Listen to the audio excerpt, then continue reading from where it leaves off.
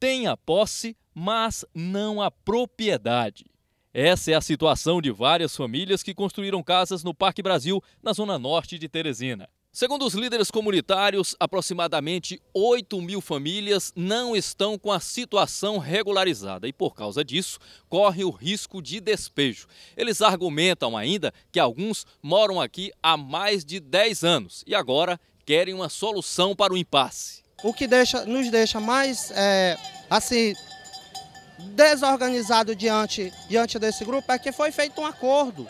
Esse acordo foi estabelecido que seria assentado todos os moradores do Parque Brasil. Enquanto uma comissão se reunia com o governador do estado, alguns moradores, lideranças comunitárias e representantes de instituições ligadas à causa da moradia e da habitação aguardavam em frente ao Palácio de Karnak. Desde 2002 que a FUNC com os moradores andou lutando por essas posses né, deles. Hoje estão lá sentados os diretores, a, a presidente da FUNC, para ver o que, é que vai sair hoje de lá. O deputado estadual Cícero Magalhães, do PT, participou da reunião com lideranças comunitárias. É partir para esse grupo de trabalho para encontrar a solução da, da questão da regularização da terra, para poder, junto com a Caixa Econômica, através do Minha Casa Minha Vida, ou outros programas, fazer o maior número de habitação possível.